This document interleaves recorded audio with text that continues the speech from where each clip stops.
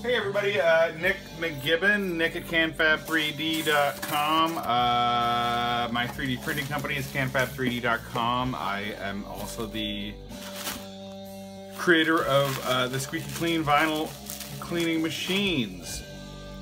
Uh, what this is, is my version of uh, a record cleaning machine. It's not a cheap version, it's not an expensive version, it's my version and I'm gonna I'm gonna stick with that. It's uh, pretty much the best product I can come up with at a reasonable price for cheap people like me. So what I'm doing here is for everyone who's bought one from me, and I love you all, uh, I'm gonna do the basic unpack and get, give you an idea of what you're getting and the best and easiest way to get going. There's a thousand ways to use an RCM. There's a thousand ways to clean a record. So everything you hear right now is uh, my version and what I'm happy with. Uh, you'll find a, a, thousand other ways to do it online. Just be confident that uh, with a record cleaning machine, you're not going to hurt your vinyl. You're going to uh, only improve it if someday down the road you decide to spend $4,000 on an ultrasonic cleaning machine, or sorry, $800 on an ultrasonic cleaning machine you will not hurt that vinyl uh, uh, prior to doing that. So uh, I pulled this out. First little package is the wand. Attached to the wand, and that helps keep the, the pad in place, is uh, the adapters for the 10 inch and 45 RPM records. I'll put those to the side. You're gonna have the wand.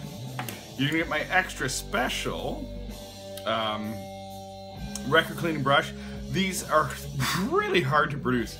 The, the issue isn't the 3D printing, it's the um, adhesion of the velvet to the base. I've had issues. Uh, if you got a red one, it's probably going to fail the minute you use it. People with uh, the ones with the black velvet, which is what I'm using now, have had really good luck with them. There's a little sticker. It's a disclaimer sticker saying, hey, this is free. Your mileage may vary. Microfiber cloth. Uh, I always throw one of these in. They're good for wiping up spills, whatever. Um, and there's an important, if you're going to use it on your record, there's an important stage to use it. Don't use it on your final wipe.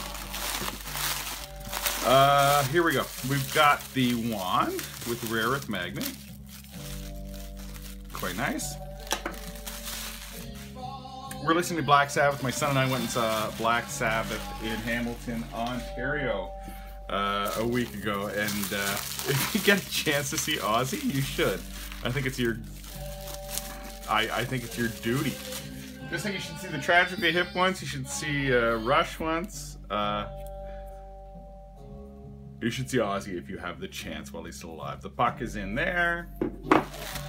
I haven't had any issues with shipping damage so far on these. I think it's a, a great packing system. I've shipped to Europe. I've shipped to excuse me, uh, Mexico. I've shipped all over the world and I've had no issues. So the box is gone. It's a great place to store your uh, kit though when you're not using it. Uh, the uh, got a little contact card here. This is all really unimportant with my actually my phone number on it. If you need uh, to get in touch with me really quickly or if there's issues at all, the 45 RPM adapter, which goes with this adapter the mat, the crazy, what, what's here? Uh, Alabama Live. I have a new thing where I listen to all the records because I buy beaters from my local uh, record store guy. I don't buy beaters, he saves me beaters.